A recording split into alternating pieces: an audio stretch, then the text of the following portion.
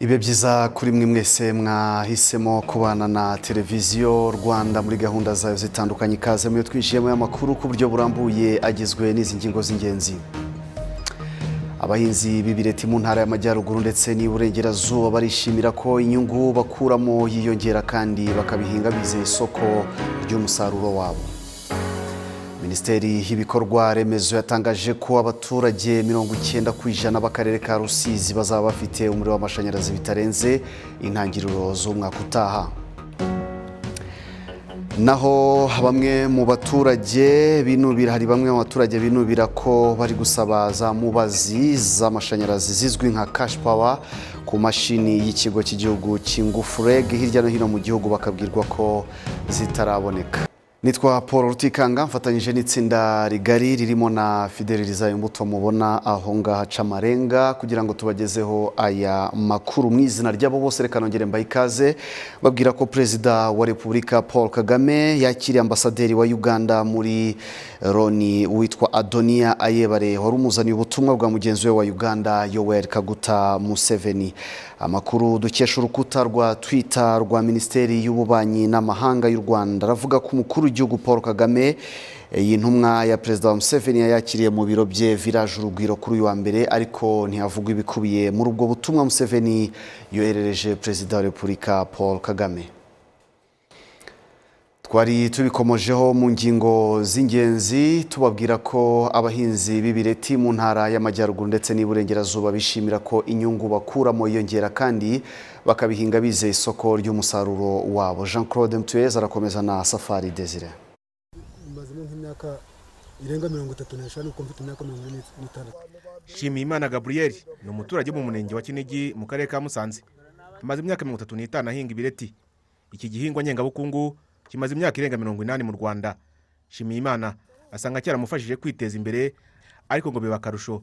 Nyuma y'uko abonye uruganda rutunganya ibireti kandi rukabishyura ku giciro cyiza uko imyaka igenda ishira. Ni ubuhamya asangiye na Nyiraneza Vestine nawe usanzwe ahinga ibireti mu Kinigi. Inyungu rwose ibireti birunguka. Iyo ari ngombwa baduha ifumbire ariko nta kibazo cy'ibireti tuba dufite. Ubundi imyaka yose ugomba kuyitaho. Niyo ataba ibireti ikintu cyose witaho kirera. Ikiro cy'ibireti baduha ku mafaranga igihumbi na mirongo inani. Mpinga ibicebo bibiri. Ikebo ni mirongo ine kuri mirongo itanu. Ubundi habaga igihe ngewe nongere nguze n'ibisinde. Nguze ibisinde byo kwatisha mbese. Kubera ku- gu- gukunda ibireti cyane. Umusaruro ugomba kubonamo nk'ubu ntabwo ntabwo warenza ntabwo warenza ntabwo warenza ibiri ijana mirongo itanu mu gikebo. Nawe fata ibiri ijana mirongo itanu kube n'igihumbi na mirongo inani. Ibirete kuko impamvu bitanga umusaruro tujya gupimura bakaduha amafaranga menshi cyane. Ibirete ntabwo bigora cyane. Keretse kubibagarira no kubyuhira nta bindi dukoresha. Nyamara nta gihe bitagigira umusaruro. Mm, igihe cyose twarawubonaga. Nta n'umuntu wabyanga kandi bifite umumaro. Abahinzi b'ibireti bavuga ko bituma barushaho kubishoramo imari hongerwa ubuso buhingwaho ariko bakabonamo amafaranga menshi. Nta gishoro kinini babishyizemo. Ariko uyu munsi ngura n'aho kubihinga. Inkatisha ku ruhande aho guhinga ibireti atari uguhinga ibirayi. Mu mafaranga rero urumva aho nahingaga nk'igikebo kimwe ubu nkaba ngeze ku bikebo birindwi kandi ntabwo twari turangiza gusarura. Amafaranga nababwiraga ni amafaranga amaze kugeraho ubu ngubu kandi zizarangira mu kwa gatatu. Urumva kuko biri kose ziyongera. Ubwo ebyiri n'igice. Nk'igihe koperative yagize umusaruro mwinshi hari ukuntu habamo abahinzi ba- barushije abandi. Abo bahinzi barushije abandi hari abafatanyabikorwa harimo na yebu hari sopirwa badufasha b'abahinzi bakabafasha bakabaha ibihembo. Eh, byiyongera ku mafaranga baba babonye mu musaruro wabo. Hegitari zikabaka ibihumbi bitatu nizo zihingwaho ibireti mu bice bikonja bikikije ibirunga. Perezida w'ihuriro ry'amakoperative ahinga ibireti mu rwanda munyendatwa jean baptiste avuga ko imyumvire ku kamaro k'igihingwa cy'ibireti irushaho kuzamuka kuko umuturage ahinga yizeye isoko ry'umusaruro we. Ngewe nkimenya ubwenge nasanze ikiro cy'ibirete kigura amafaranga cumi n'atanu. Kugeza ubu rero aho dutangiye gukorana na n'uruganda sopirwa horizoni sopirwa cyavuye kuri icyo cumi n'atanu uruganda rwabayeho rutangiye muri bibiri na cumi aho bazamuriye umuhinzi ku mafaranga igihumbi n'amafaranga ijana na makumyabiri n'abiri kuri koperative ariko umuhinzi akabona amafaranga igihumbi na mirongo inani. Kuva mu mwaka wa bibiri na cumi kugeza ubu umusaruro w'ibireti utunganywa na horizon sopirwa wavuye kuri toni ijana na mirongo itanu kugera kuri toni hafi igihumbi na mirongo itandatu ku mwaka. Cyakora kagayigayi victor ukuriye ishami rishinzwe ubuhinzi muri uru ruganda avuga ko rukomeza gukorana n'abahinzi cyane kugira ngo umusaruro ukenewe wiyongere. Ibireti ni igihingwa ku isi. Turi aba kabiri aba mbere ni australia aba kabiri ni u rwanda. Mu bwinshi mu bwiza tukaba aba mbere. Urumva nakubwiye ko twatangiye kuri toni zitageze kuri magana abiri ubu tubona toni igihumbi na magana atanu hafi na magana atandatu ku mwaka z'umusaruro w'indabyo zumye w'ibireti. Dusanga tukiri kuri mirongo itanu mirongo itandatu ku ijana y'ubushobozi bw'uruganda. Bivuze rero ko tukifuza gukuba umusaruro kenshi ari na yo mpamvu tugenda tubwiriza n'abaturage baturiye peyizana y'ibirunga nabo kugenda eh, batwemerera guhinga ibireti. Uruganda horizon sopirwa rubyaza ibireti umushongi ukurwamo imiti itandukanye harimo iterwa mu myaka iterwa amatungo iy'abantu bisiga ikarwanya imibu n'indi. Igurishwa mu gihugu imbere ndetse ikoherezwa no mu hanze yacyo. Raporo ya komisiyo y'ubukungu ya sena yerekana ko mu mwaka w'ingengo y'imari bibiri na makumyabiri bibiri na makumyabiri na rimwe ibireti byoherejwe hanze byinjije miliyoni eshanu n'ibice bitandatu z'amadolari mu gihe mu mwaka wa bibiri na cumi na karindwi bibiri na cumi n'umunani yari miliyoni eshatu n'ibice birindwi z'amadolari. Ku mukandara w'ibirunga ni ukuvuga mu ntara y'uburengerazuba ndetse n'iy'amajyaruguru umwihariko wabo ni ubuhinzi bw'ibireti. Bivuze yuko nta handi mu rwanda ibireti bihingwa. Abaturage rero bavuga yuko bamaze kugenda bungukirwa na byo kubera ko kuva mu gihumbi cyenda mirongo itatu na gatandatu ibireti biri mu rwanda.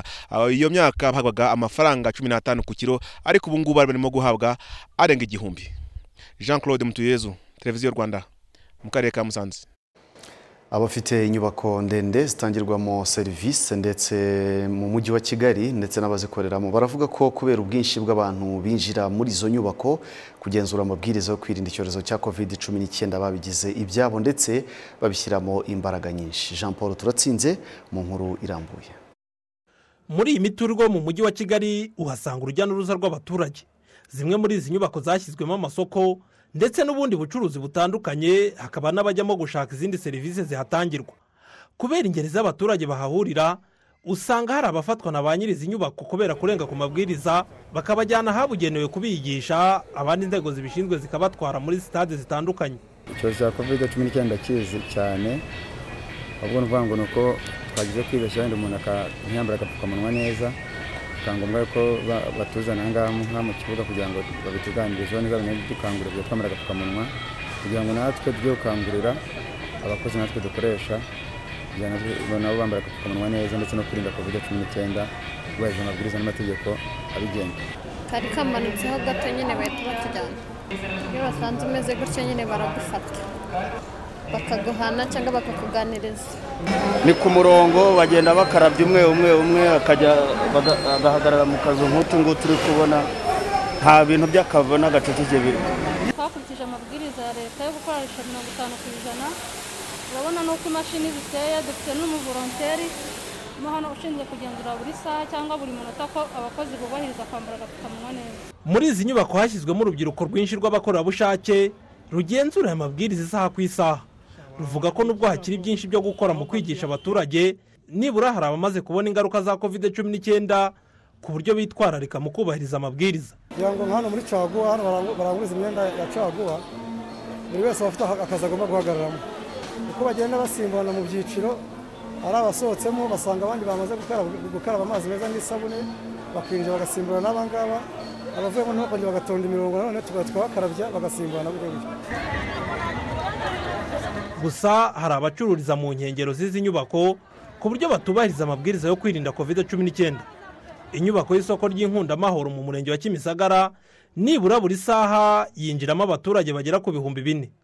Ubuyobozi bw'iyi nyubako ndetse n'izindi zihurirwamo n'abantu benshi mu mujyi wa kigali buvuga ko bashyize imbaraga mu kugenzura amabwiriza bo ubwabo badategereje inzego z'umutekano n'iz'ibanze kandi abafashwe bakigishwa. Niyo nshuti emile rwamo ni umuyobozi mukuru w'inkundamahoro turakomeza gukurikirana abantu bacu cyane cyane abacuruzi n'abandi batugana kugira ngo dukomeze kubahwitura ko kwambara agapfukamunwa neza gukaraba amazi yameneka kandi n'isabune ni- ni- ni ama- amazi n'isabune amazi meza n'isabune ari ibintu umuntu akwiye gukurikiza no guhana intera. Rero dufite gahunda twafashe. Hari gahunda twafashe yo gukora mirongo itanu ku ijana mu byumba iyo dusanze bidakurikizwa. Abo bantu turaza tukabazana hano tukabaganiriza. Abatambaye udupfukamunwa neza turabaganiriza tukababwira ko izo ari inshingano zabo ari na byo dukomeza gukora kugira ngo hatakomeza kubaho kwirara.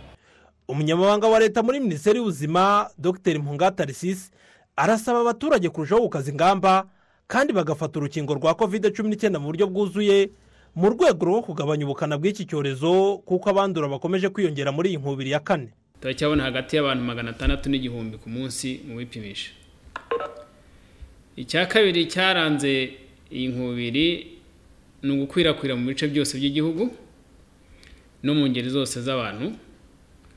Eh, nubwo tubona mu mijyi cyane cyane umujyi wa kigali indi mijyi yunganira kigali ariho hari abarwayi benshi ariko no mu cyaro byagezeyo kandi haba mu bakuru no mu batoya. Abantu benshi nubwo banduye ariko ntabwo ba- barembye ngo bagire ibimenyetso bikabije kuko wasangaga benshi bafite ibimenyetso bimeze nka giripe isanzwe tumenyereye. Uwakingiwe ntabwo bimubuza kwandura ariko bituma ataremba atazahara ngo ajye mu bitaro agakira vuba. Kuva icyorezo cya covid cumi n'icyenda cyagera mu rwanda mu kwezi kwa gatatu umwaka w'ibihumbi bibiri na makumyabiri kimaze guhitana ubuzima bw'abaturage basaga igihumbi magana ane. Jean paul turatsinze i kigali. Bamwe mu batangije sosiyete z'ubucuruzi zisaga mirongo irindwi ziri hirya no hino mu gihugu zihuza umucuruzi n'umuguzi hifashishijwe ikoranabuhanga bavuga ko icyizere cy'abakiriya cyo kugura bifashishije eh, ikoranabuhanga cyazamutse cyane ndetse zinatanga akazi kuri benshi. Bosco kwizera na byemveni mbarushimana barakomeza. Icyorezo cya covid cumi n'icyenda kimara kugera mu rwanda leta yafashe icyemezo cyo kugumisha abantu mu rugo mu rwego rwo kwirinda ko gikwirakwira mu buryo bworoshye aho ibikorwa bitandukanye byafunzwe harimo n'insengero nyuma yo gufungura insengero kompanyi innovation for development of africa ida yahise ishyiraho uburyo bwo kwiyandikisha hifashishijwe ikoranabuhanga kugira ngo babone umwanya wo kwicaramo mu materaniro. Iyi city plus yifashishijwe n'insengero esheshatu nk'uko juma kubwimana umwe mu batangije iyi kompanyi ya ida abivuga. Noneho ntabwo ari eh, ukuba wabukinga gusenga gusa. Ahubwo nk'uko turi IT services turifuza ko n'insengero zitangira gukoresha ikoranabuhanga. Nimba ari ibyangombwa ukeneye ku rusengero nta mpamvu yo kujya kongera gutonda umurongo. Ahubwo wa- wa- waca kuri iyo platform ukaba wabasha noneho kuba wakwaka ibyangombwa bikeneye ibyo kubatizwa yaba ibyo gusezerana yaba ibyangombwa byose urusengero rukenera. Ni byo ubu ngubu turimo turakora kugira ngo tuyongerere ubushobozi.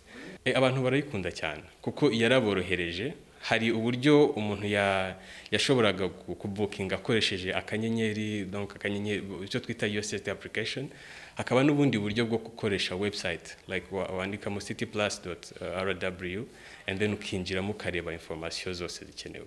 Ubwo buryo bubiri rero bworohereje abantu bworohereje abantu kuba babasha kongera gusubira mu nsengero ndetse no kongera gusenga. Bimwe mu bisubizo byakomeje gutekerezwaho birimo nokanda aho kompanyi hexacom yoroheje abantu kugera kuri serivisi zose zo kubikuza kubitsa no kwishyura bidasabye ya mibare ubusanzwe umuntu asabwa gukurikiza. Nokanda yanaje ku mwanya wa mbere mu zikoreshwa mu gihugu aho abagera ku bihumbi mirongo itatu bayikoresha nk'uko bisobanurwa n'ushinzwe ikoranabuhanga muri hexacom injiniya juma nyandwi suleiman. Niyo mpamvu rero twe twabonaga ko bakunda kuvuga ati kanda akanyenyeri ukurikize ukurikize ibi. Turavuga ati reka tuze gukuraho ibyo bya kanda. Noneho tuzane ikintu gishobora gufasha abantu nk'abanyarwanda kubera ko twabonaga ikibazo gihari kandi kikaba cyabafasha mu buryo bwihuse kandi ku buntu. Turavuga ngo reka dukureho kanda niyo mpamvu twashyizeho ijambo ry'icyongereza rivuga no rihakana tugashyiraho kanda biba no kanda. Eh, abantu benshi bayimenya nka no kanda. Turavuga ati dukuyeho gukanda biba no kanda. Umuyobozi wa kompanyi poza delivery igeza ibicuruzwa ku baguzi murenzi helve avuga ko imyumvire yo kugura ibicuruzwa umuguzi atahegereye irimo kuzamuka n'ubwo hakiri ibigomba gukosorwa mu mitangire y'iyi serivisi. Harimo intera nini cyane aba- abanyarwanda bagiye ba- babasha kumva uburyo ikamasi ikora n'uburyo inyungu zayo.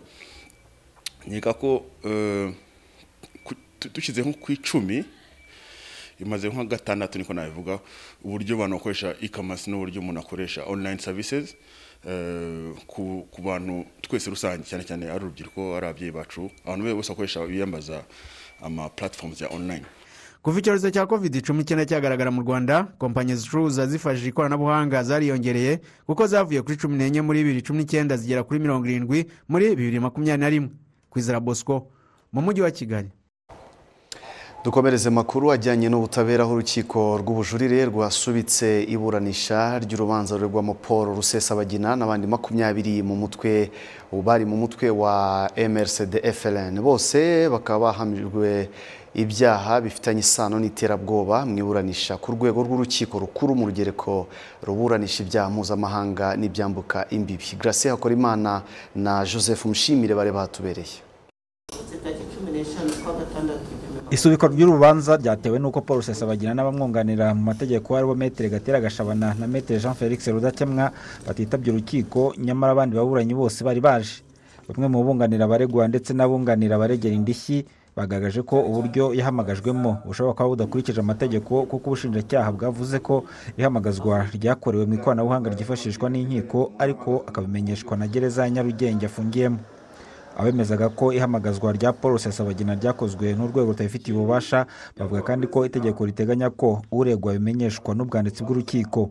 Ni mu gihe ubushinjacyaha bwo bwemeza ko ihamagazwa rya paul rusesabagina ryubahirije amategeko kuko ryashyizwe mu ikoranabuhanga abunganira abaregwa bose bashobora kugeraho bigakorwa n'ubwanditsi bw'urukiko kandi mu gihe giteganywa n'amategeko.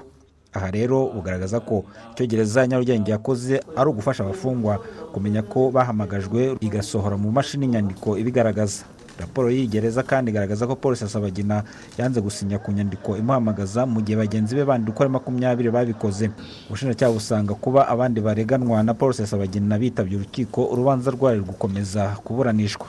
Ikindi bwagaragaje ni uko rusesabagina yanze kwitaba urukiko nkana kuko mu gihe yateguraga abandi bafungwa bagapimwa covid cumi n'icyenda we yanze kubyitabira. Bwagaragaje kandi ko kuva muri werurwe umwaka ushize paul rusesabagina atongeye kwitaba urukiko mu gihe cyose rwamuhamagaje mu iburanisha. Nyuma yo guha ijambo abahagarariye impande ziburana perezida w'urukiko rw'ubujurire francois regis rukunda kuvuga ari nawe uyoboye inteko iburanisha yamenyesheje ababuranyi ko urukiko rugiye kwiherera rugatangaza umwanzuro kuri izi mpaka kuri uyu wa kabiri saa kumi z'igicamunsi rukanamenyesha umunsi urubanza ruzasubukurwaho uretse paul rusesabagina abandi baburanyi muri uru rubanza bajuririye ibihano n'ingano y'indishyi z'akababaro bikubiye mu cyemezo cy'urukiko rukuru urugereko ruranisha ibyaha mpuzamahanga n'ibyambuka imbibi rwasomye uru rubanza ku wa makumyabiri nzeri umwaka ushize. Gratien korimana televiziyo rwanda i kigali.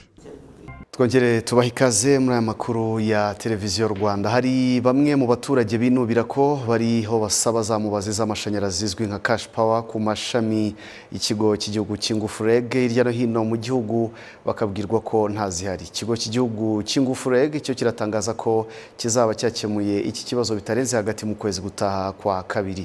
Fisito felix habineza arakomeza. Ikibazo cy'ibura rya za mubazi z'amashanyarazi zizwi nka kashi pawa cyatangiye kuvugwa mu mezi ane ashize. Aba ni bamwe mu baturage biganjemo abashaka izi kashi pawa bwa mbere. Bamwe na bamwe twabasanze ku mashami y'ikigo cy'igihugu cy'ingufu reg baje gushaka iyi serivisi maze babwirwa ko izi kashi pawa zitaboneka. Ikibazo cya kashi pawa zarabuze nkuba amezi agiye kuba ashize ari atanu. Bibaye byiza mwadukorera ubuvugizi nyine kashi pawa zikaboneka kashi pawa zarabuze nanjye nza hano bakambwira ngo kashi pawa ntiziraza. Niba uruganda ruzikora rudafite ikibazo bakagombye kuba baratanze amafaranga. Keretse ahubwo uvuze ngo ikibazo wenda kirari cy'uko badafite amafaranga yo kubyishyura.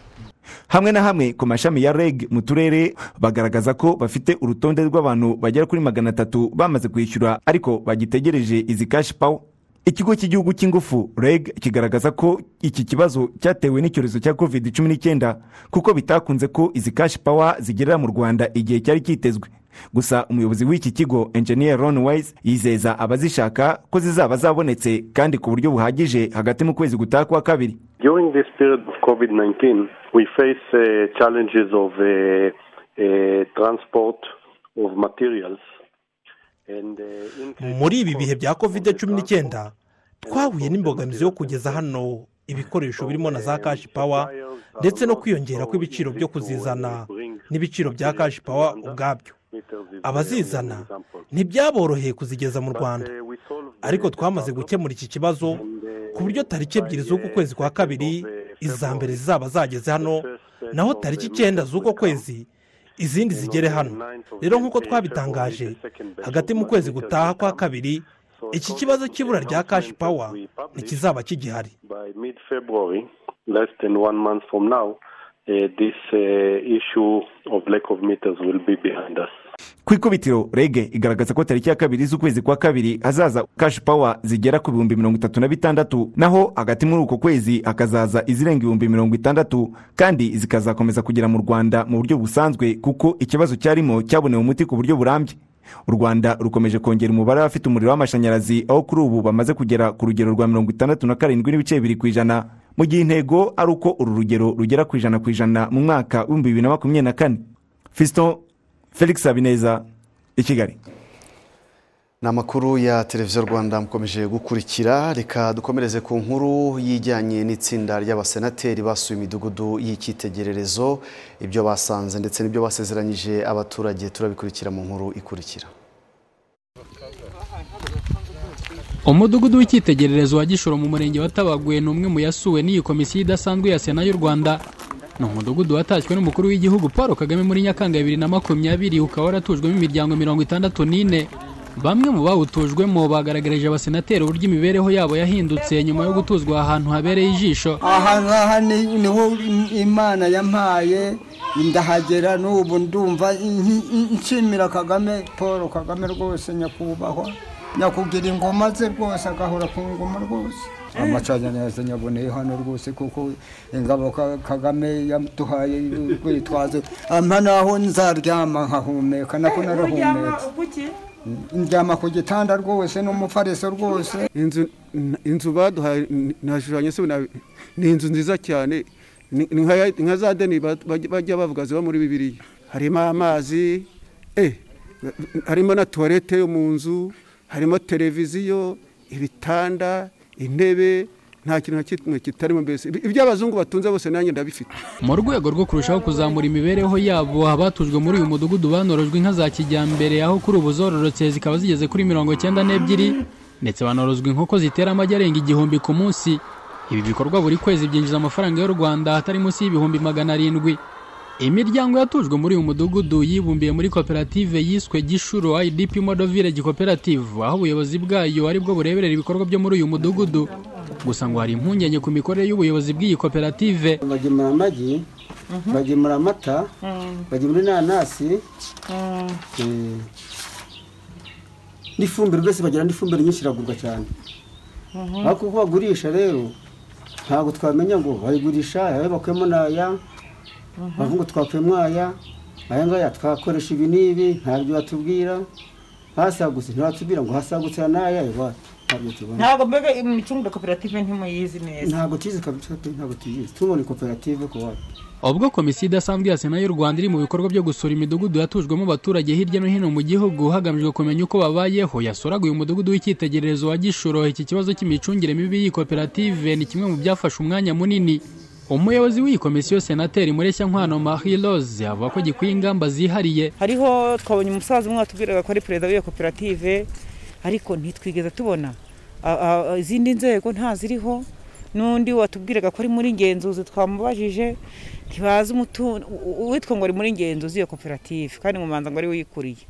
Ntazi umutungo koperative ifite ntazi amadeni koperative ifite ntazi ibigurishwa uko ari n'ibigurisha ntibakora inama ngo bimeshe bati umutungo wanyu uhagaze gutya dore ibyinjiye dore ibyasohotse. Mbese hakenewe ko iriya koperative yegerwa. Iyi komisiyo kandi yanasuye umudugudu w'icyitegererezo wa rwabiharamba mu murenge wa karangazi aho abawutuye bayigaragarije ikibazo cyo kutagira ubutaka bwo guhingaho bizezwa ko kigiye gukorerwa ubuvugizi. Gusa ariko abatujwe muri uyu mudugudu banenzwe n'iyi komisiyo kubera umwanda uhagaragara ndetse bananenga bamwe mu batujwe muri iyi midugudu ariko bakaba bagifite imyumvire y'uko bagomba gukomeza gufashwa na leta gusa. Valence niyo nkuru televiziyo y'u rwanda mu karere ka nyagatare.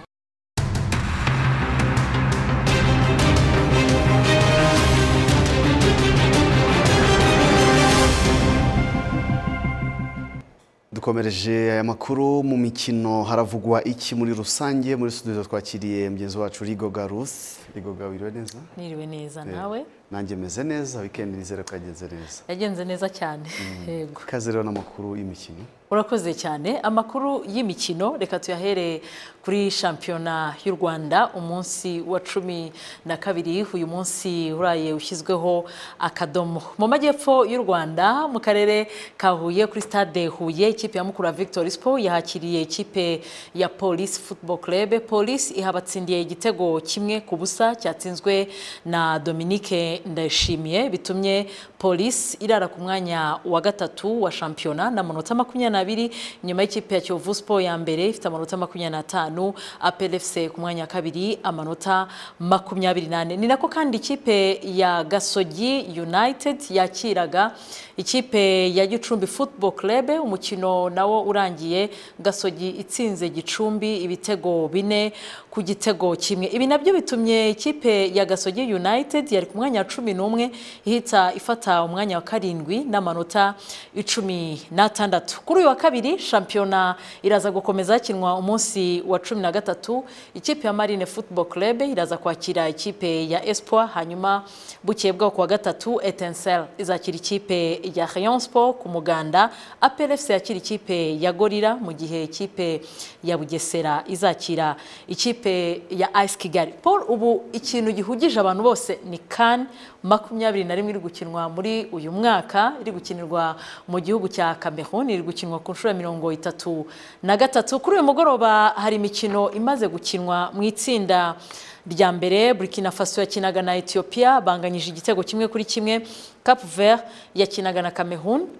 Nabo banganyije igitego kimwe ku kindi. Ni irushanwa mu by'ukuri kuri inshuro ya mirongo itatu na gatatu riri gukinwa ikomeye. Kubera iki? Bari gukina umunsi wa gatatu wa nyuma mu itsinda ariko kugeza ubu ibihugu bine ni byo bimaze kubona itike. Burkina faso yiyongereye mu bihugu byamaze kubona iyo tike. Birimo cameroon burkina faso bari kumwe mu itsinda rya mbere nigeria ndetse na maroc. Abandi bose baracyashakisha iyi tike aho iyi mikino izakomeza gukinwa ku munsi w'ejo mu itsinda rya kabiri ndetse n'itsinda rya gatatu. Ku munsi w'ejo hari umukino ntekereza ko abanyarwanda bose bategereje bitewe n'uko uzasifurwa na mukansanga salma ni umukino wo mu itsinda rya kabiri uzakinwa ku isaha isa kumi n'ebyiri uzahuza ikipe y'igihugu ya gine ndetse na zimbabwe. Akazaba akoze amateka kuba umugore wa mbere usifuye imikino y'igikombe cya afurika asifura hagati mu kibuga. Janice kazwe yaravuzwe cyane ku mukino waherukaga wa mbere wo mu itsinda benshi bari bazi ko Janice Kazwe yahise anava mu gihugu cya Cameroon ariyo kuko ku munsi w'ejo afite umukino ariko atazasifura hagati mu kibuga ahubwo azaba ari kuri VAR ni umukino uzahuza ikipe y'igihugu ya Maroc ndetse na Gabo mu itsinda rya gatatu. Ubwo tuvuye mu mikino reka noneho twerekeze i rusizi. Minisiteri y'ibikorwa remezo iratangaza ko abaturage mirongo icyenda ku ijana b'akarere ka rusizi bazaba bafite umuriro w'amashanyarazi bitarenze intangiriro z'umwaka utaha. Abatuye aka karere bakaba banejejwe no kuba hirya no hino muri aka karere amashanyarazi akomeje kuhakwirakwizwa ku bwinshi by'umwihariko ibice byasaga naho byari byarasigaye inyuma cyane. Teogene twibanire mu nkuru irambuye. Hirya no hino ahakiri icyaro bamwe bita icyaro kibisi amapoto n'insinga z'amashanyarazi biranyanyagiye kandi biriyongera umunsi ku wundi. Aho umuyobozi wa reg Ronnie Weiss yabwiraga abaturage bake basigaye batarabona umuriro w'amashanyarazi mu murenge wa Gitambi ko biri hafi cyane. Tuzabaha amashanyarazi ijana ku ijana. Guhera muri mirongo inani na rimwe aha ngaha ni ho bubatse umuyoboro w'amashanyarazi. Ubu imyaka mirongo ine irarangiye. Ubu niyo tubonye ko ubusabe bwacu bugize imbaraga nyinshi. Mu bice byinshi by'icyaro ubu urahabona bimwe mu byari bimenyerewe mu mijyi gusa nka za antene za televiziyo n'ibindi. Byari mu mijyi gusa kuko ariho habaga amashanyarazi honyine. Ubu icyanga cyo kuyagira abenshi baracyumva. Ariko ubu ngubu mu mihigo tuzafasha nyakubahwa meya w'akarere imihigo tuzafasha gitifu wacu w'umurenge. Ni ukuba aba mbere gusa se. Uwa kabiri azatuza inyuma ikintu cyose ukeneye cy'amashanyarazi ubu abantu batunze televiziyo mu rugo bafite mbega ikintu cyose amakuru yose wakenera na telefone abantu bakoresha imbuga nkoranyambaga kubera telefone mbega ubuzima busa nk'aho bworoshye. Icyakora hari abandi bagitegereje bihanganye. Nk'abo mu kagari ka kabahinda mu mudugudu wa karambo mu murenge wa mururu nubwo atariho gusa. Twashatse no kwikusanya abantu bene aha ngaha baravuga ngo kubera bafite isinga bafatiyeho nini cyane ngo ngo kereka ariyo tuguze. Ngo ni ho ngo ngo byashoboka. Biratunanira n'ubundi turabyihorera. Igisubizo kuri aba baturage kiri mu ijambo rya minisitiri w'ibikorwa remezo ambasada karaveri gatete wavuze ko mu mezi cumi n'abiri ari imbere aha. Akarere ka rusizi kazaba gafite umuriro nibura ku kigero cya mirongo icyenda ku ijana kavuye kuri mirongo irindwi na gatandatu ku ijana kariho ubu. Hari undi mushinga nawo twatangiye ubu ngubu uzatangira mu kwezi gutaha mu gutangira turarangiza ubu ngubu ibijyanye n'amasoko. Ah, undi mushinga w'amashanyarazi nawo uzacanira ingo ibihumbi makumyabiri na bitanu ibyo na byo twavuze yuko muri uyu mwaka uzajya kurangira izo ngo na zo zacaniwe. Uretse ko hari n'undi mushinga mugari. Ibyo rero bikaba bivuze iki? Ubu ngubu rusizi ku bijyanye n'abantu n'imiryango ifite amashanyarazi bari bari kuri mirongo irindwi na gatandatu ku ijana. Turatekereza yuko nitwongeraho ah, iyi mirenge ibiri yo tumaze kuvuga tukongeraho noneho n'undi mushinga. Nawo uzongera ah, gucanira imiryango ibihumbi makumyabiri na bitanu tuzaba turi nko kuri mirongo urwenda nangwa no kurengaho gatoya ku ijana. Icyo gihe mu bijyanye n'imiryango yose ah, izaba ifite amashanyarazi. Mu ntangiriro z'umwaka utaha turavuga ko icyo gihe bizaba bigeze hafi mirongo urwenda ku ijana. Uretse iki cyo kongera amashanyarazi muri kano karere by'umwihariko mu gice cyawo cy'umujyi hakunze kuvuga ikibazo cy'umuriro ucikagurika. Iki kibazo na cyo minisitiri gatete yakivuzeho. Basanga amashanyarazi agenda afite ikibazo cy'aho ah, ubundi twita instability. Twashyizeho uburyo amashanyarazi yayo yaho noneho agira bwa ah, sinzi uko nabyita tuyaha ingufu zishoboka zose ku buryo ikibazo cyose cyaba batakongera kubona ya mashanyarazi agenda acikagurika kandi ibi ngibi twavuze yuko ah, na byo bizaba byarangiye mu kwezi kwa gatatu. Mu ntangiriro za bibiri makumyabiri na gatatu rusizi izaba ifite amashanyarazi ku kigero cya mirongo icyenda ku ijana. Harimo abawufatira ku muyoboro mugari ndetse n'abakoresha imirasire y'izuba. Hazaba hasigaye umwaka umwe ngo harangire imyaka irindwi leta yihaye nk'intego ngo abaturage bose bazabe bagezweho n'amashanyarazi. Bakurikije umuvuduko biriho abataragerwaho nabo iri sezerano barifitiye icyizere. Urabona amazi ya- yangezeho. Irepfa twese amazi turayafite ubwo rero n'umuriro turabyizera ko dushobora kuzawubona. Nzahoduheda Theogene Twibanire i Rusizi. Abahinzi b'urutoki mu murenge wa Mamba ari mu karere ka Gisagara bishimiye ko muri uyu murenge hagiye kuzura uruganda ruzongera agaciro k'umusaruro w'urutoki ngo rukazabafasha mu kugabanya igihombo bahuraga na cyo ku mafaranga bakatwaga nk'ikiguzi cyo kugeza umusaruro wabo ku nganda ziri mu yindi mirenge. Tuyisenge Adolphe arakomeza. Aha mpagaze ni imbere mu ruganda rwitwa iyumvire kampani limitedi ni uruganda ruri kubakwa rukaba rugeze ku kigero cya mirongo inani ku ijana nk'uko abarukoramo babivuga.